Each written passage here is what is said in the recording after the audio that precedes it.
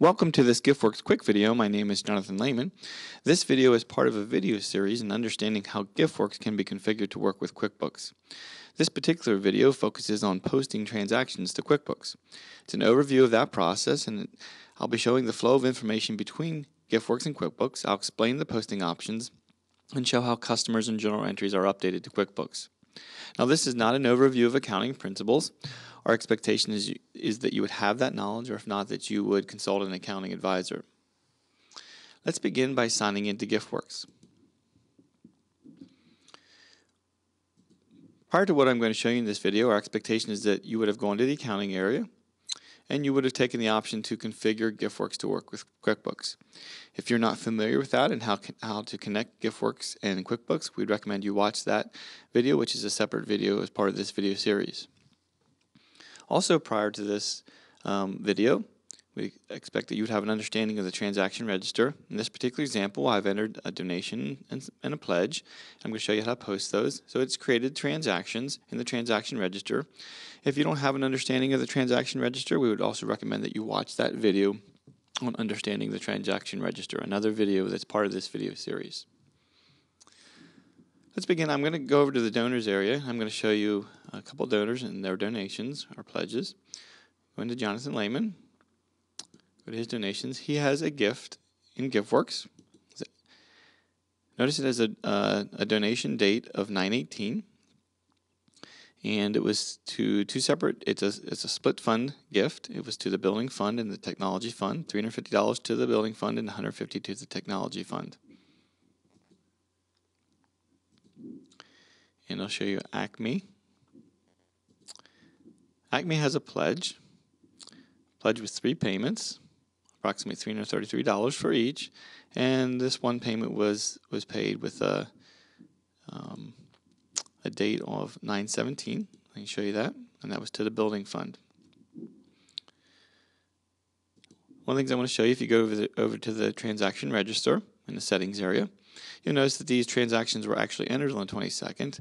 So they actually they were actually the donations and pledges were actually um, entered into GiftWorks on the 22nd of September, but they were actually the donation date for the first one was the 18th, and for in the pledge date the pledge date donation date for uh, the Acme pledge and pledge payment was on 917.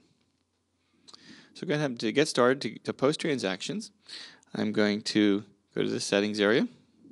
One of the first things that would always be good to do before you post would, do, would be to back up both your GiftWorks database and to back up your Quick, QuickBooks company file. So you can back up your GiftWorks database by going to the settings area, database and maintenance, and clicking on backup your database. Of course, you would, we would recommend you do this to an off-site location. We did this backup, and for backing up your Quick, QuickBooks company file, we recommend that you consult uh, their documentation. Once you've done that backup, again in the settings area, under the accounting area, you could either click post donations here, or you could click on accounting and click on post transactions to QuickBooks or file. When you take that option, you're presented with a, a screen that shows you several things. This bottom section here shows you a history of, of previous posts that you've done. It shows you the date range that you entered, how many transactions were included. It gives you um, some information about the, the type of options that you took, the summary options, which I'll be showing uh, what that means when we actually do a post, and, and who did the post and when it was done. So it gives you a little bit of a history there. And uh, you actually would have the option, um, if you need to repost any of those, you can actually do that by clicking on one and saving the previous post. In this case, we're going to do a new post. We're going to put in the date of 922nd. I didn't select that right. And we're going to click post. You're presented with a dialog that gives you some options. I'm going to explain those options. You have two main sections. You have transactions, op transaction options and summary options.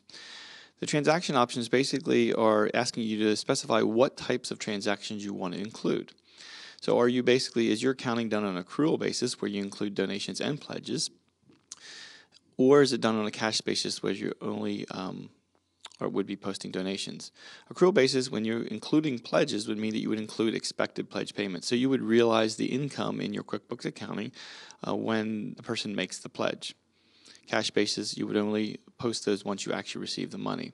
So you can see if I click accrual basis and click next, you would see here that for Jonathan Lehman, you can see the transactions. It includes the, that one gift that had the the split fund gift, and it also includes the the um, pledge for Acme and includes the uh, the expected payments here and also the uh, received one. So here's the receivable pledge receivable account. If I would go back and I would change that to cash option, reset the list and you'll see I have a, I have the the gift for Jonathan Lehman, but I also have just the received payment for Acme, not the uh, expected pledge payments. So that's the difference with the first option. This, under the summary options, you have two primary methods. You can either post transaction detail, or you can post summary information for each account. You have some some some options within each of those. When you post transaction detail, basically what you're what you're um, pick what you're choosing is that it's important to you uh, that to get um, individual detail those transactions. It gives you a better way of tracking down um, and, and seeing within QuickBooks the, the journal entries that it creates and seeing them actually as they uh, relate back to donations or pledges or pledge payments within GiftWorks. It actually also would take the donors that are being posted, uh, that are part of the transactions that are being posted, and would actually um, add or update customers in QuickBooks.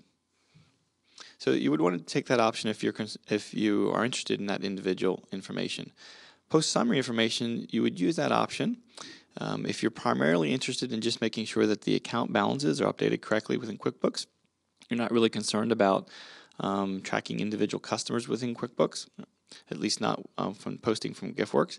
And you're also not that concerned about being able to track back individual uh, journal entries to donations or pledges within GiftWorks.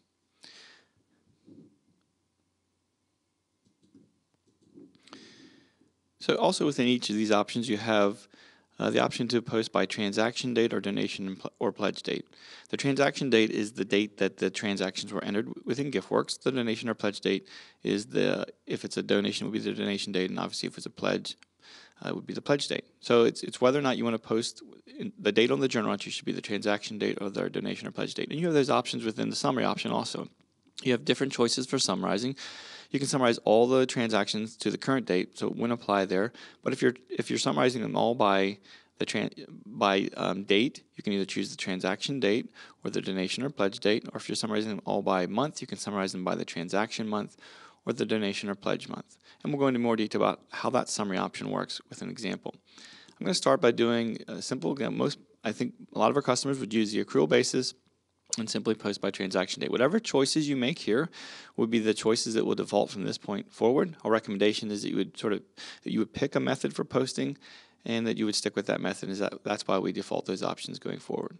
So let's take this option. I'll reset the transaction list. You can see the transactions here.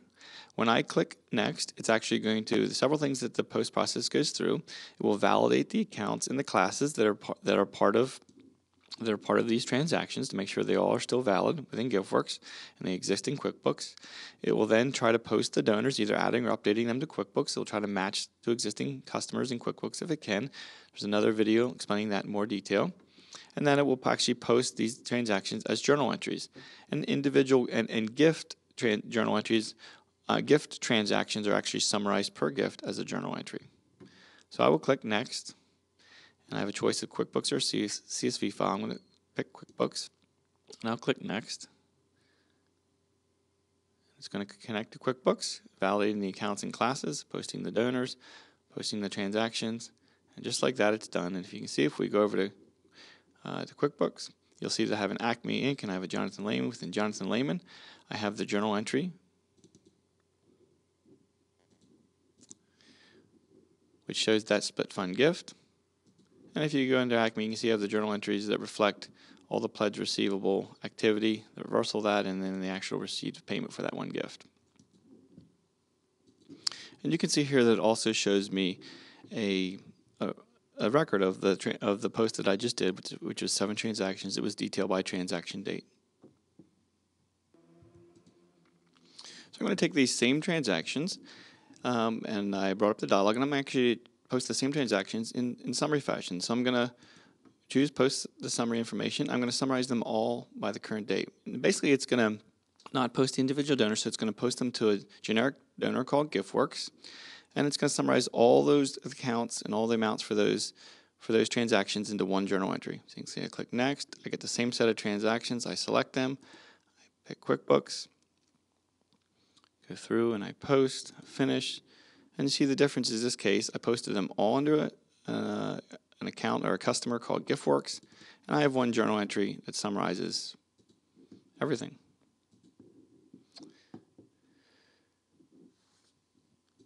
So you can see it has summarized all those accounts and the amounts into one journal entry. You can see also that it, give, it gives us a, um, a record of that of, of that post and the, and the choices that we made. We hope this video has been helpful there, um, in understanding how transactions are posted, and we recommend that you watch the other videos as part of this video series.